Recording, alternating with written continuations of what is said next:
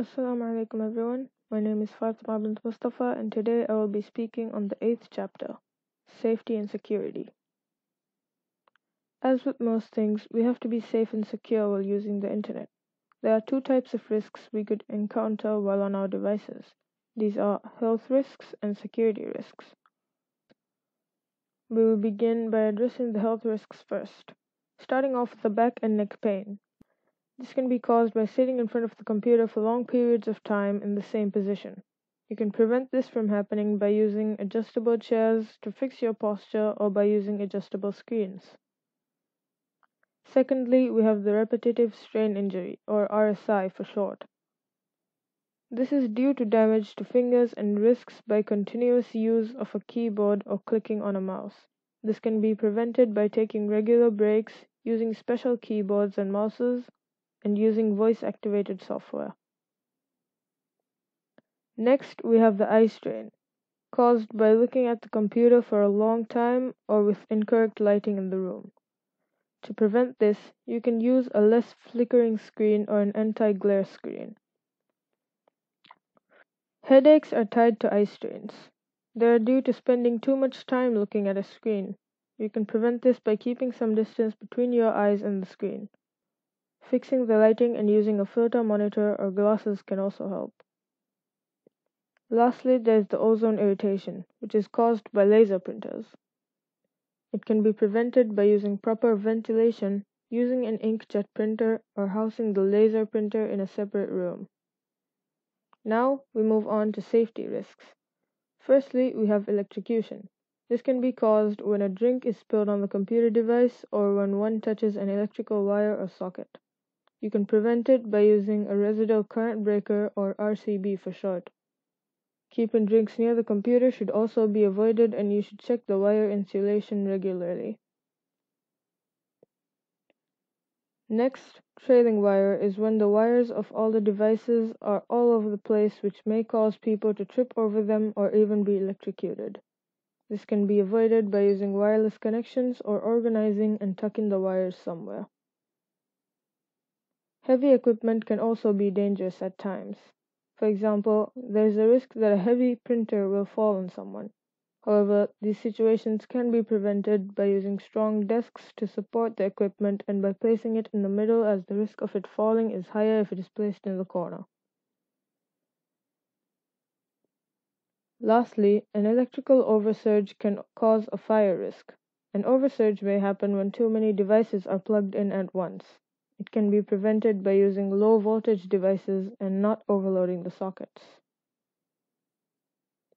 We move on to our next subtopic, e-safety. E-safety is the safety when using the internet, which means the safekeeping of personal data. Personal data is any data concerning a person which can be used to identify them. Personal data can be sensitive data such as the ethnic group, political view, religion, or criminal activity. There are many different ways people could get a hold of our data. The first example is hacking. Hacking is the act of gaining unauthorized access to a computer system which can then lead to identity theft or misuse of information. The data can also be deleted, changed, or corrupted. As like many other things, there are measures we can take to prevent this. We can use firewalls, strong passwords, and intrusion detecting software, among many others. Next on this list is phishing. Phishing is when a legitimate looking email is sent with an attachment or a link.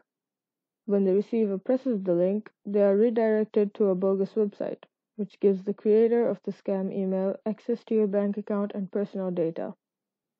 This can, however, be prevented by being cautious when opening unknown emails and avoid clicking on random links.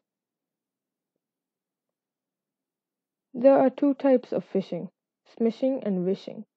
Smishing is SMS phishing. This is when a scammer uses an SMS to send out fake messages to fool the people. Vishing is voicemail phishing. It involves using the voicemail to trick the user to establish a conversation with them. Pharming is similar to phishing. This is a malicious code installed on a user's computer or web server. This code redirects them into a fake website. The user does not have to take any action for pharming to work. Pharming can be prevented by using anti-spyware software. Users should also be alert at all times in case anything like this happens. Next is spyware and key logging software. These are software that gather data by monitoring the key presses on the user's keyboard. The gathered data is sent back to the creator of this spyware. They can then change the user's default browser and install cookies. This can be prevented by using anti-spyware software and using touchscreen technology as it is sometimes better than a keyboard. Next, let us talk about malware types. The first type is a virus. A virus is a program code which can replicate itself with the intention of deleting or corrupting files on a computer. It can also cause the computer to crash or stop functioning. You can prevent viruses by installing antivirus software not opening or being cautious when opening unknown sources. Most importantly, we must always be careful when dealing with an unknown sender. Secondly, spam is often referred to as junk email. It is the unwanted emails that are sent in bulk through the internet or messaging systems. These can be prevented by using a spam email filter, avoid signing up for mailing lists, and unsubscribe from any mailing list you are unaware of. Next on the list is cookies. Cookies are small files or codes that are stored on a user's computer. They are sent by web server and the data gathered forms an anonymous user profile. Cookies are used to store users' preferences while surfing through the internet. However, some people use it for bad purposes. Lastly, there's the firewall. A firewall can either be software or hardware. It sits between the user's computer and the external network. It checks both incoming and outgoing traffics and warns the user of any potential threats. Firewall can also prevent hackers from getting access to the system. There are two main types of security protocols, SSL and TLS. SSL stands for Secure Socket Layer. It allows data to be sent and received securely over the Internet. The SSL sign on a web page is the HTTPS padlock. TLS stands for Transport Layer Security. This is similar to SSL and is made to provide encryption, authenticity, and data integrity. What is encryption? Encryption is used to protect data against hacking or illegal access.